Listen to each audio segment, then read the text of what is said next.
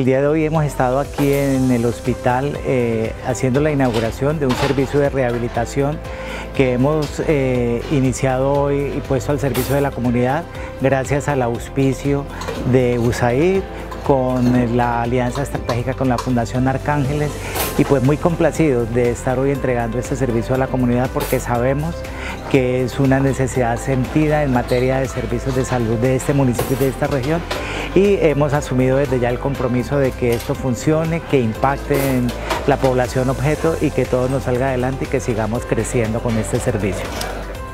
Bueno, la expectativa ha sido muy alta y la entrega y el trabajo que ha tenido el hospital ha sido de lleno. Llevamos siete meses realizando este, este proceso de fortalecimiento con los seguimientos, las asistencias técnicas, la capacitación al, al profesional y hoy ha sido completamente un éxito. Great pleasure to be here. You know, I don't get to visit Colombia all that often, but this is my third time. And so to come to a new service and to see it start is really actually important for me because now I have a starting point so that when I come back, I can see how the services are progressing. It's also really important, I think, because having a nice, new, clean facility also makes it appealing for people to come and they'll feel welcome there having the therapist that I met, the physiotherapist, the occupational therapist, the speech and language therapist, and the psychiatrist, and really seeing them already beginning to bond as a team, I think is also really important. And seeing that integrated service all in one place so that people can reach out to all the different services they need without having to go here and there because we know, especially at a primary healthcare level, it can be very challenging if you have to go to multiple services to get what you need. A pesar de estar en pandemia, en las dificultades propias de ese momento, eh, iniciamos la ampliación de nuestro portafolio de servicios buscando siempre darle la mayor capacidad resolutiva al hospital. Y es así como en el curso de estos tres años hemos pasado de tener 14 servicios habilitados a tener hoy 24, incluidos los cuatro servicios de rehabilitación que hoy inauguramos. Eso es bien importante porque no solo genera ingresos, genera una sostenibilidad de esta institución, que además empieza a impactar en necesidades muy insatisfechas en materia de prestación de servicios de salud que históricamente ha tenido el municipio.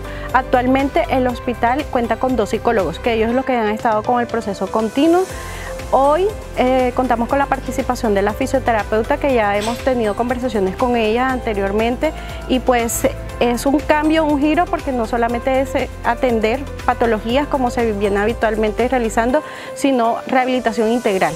Es que en todos los cursos de vida y en toda la, la demanda que, que, requiere el hospital ellos van a estar. Entonces por eso es un servicio integral. So from my perspective, so this is my third visit to Colombia. And the first time I came was almost seven years ago. And you really saw that there was a real lack of understanding about what rehabilitation was. It was at this very tertiary level, only geared towards persons with disabilities. What I've seen, one, is that the Ministry of Health, their political will and their leadership has increased significantly. We had a meeting uh, last week for two days in the Ministry of Health with representatives from all the different professions, universities, training institutions, and that to me really shows that the ministry is beginning to invest time and energy and in some cases financial resources into rehabilitation. Yo quiero, yo quiero dejar una, una reflexión a los municipios, a algunos colegas que están en, frente de otras instituciones similares a la nuestra, en el sentido de que eh, con primero voluntad política, tomando la decisión de hacer las cosas, siempre vamos a encontrar oportunidades como la que en este momento el hospital está disfrutando de esta alianza estratégica con esas entidades que generosamente han aportado. Pero pasa también por la decisión nuestra. Yo le decía hace poco a alguien, lo más fácil hubiera sido decir desde el principio, no, esto es muy complejo, esto nos va a costar mucha plata, esto es mucho trabajo y no hacer nada. Pero realmente nosotros y el hospital se debe a esa comunidad que está ahí esperando todos los días que le demos. Entonces, gestionar, buscar fuentes de financiamiento, tomar decisiones, tomar riesgos también. Y a la comunidad también decirle que estos servicios llegan a los hospitales para ustedes. Entonces ustedes tienen también que apoderarse de ese derecho a acceder al servicio, exigirlo, reclamarle a su EPS que su atención se haga en el territorio, porque ya tenemos acceso aquí a los servicios.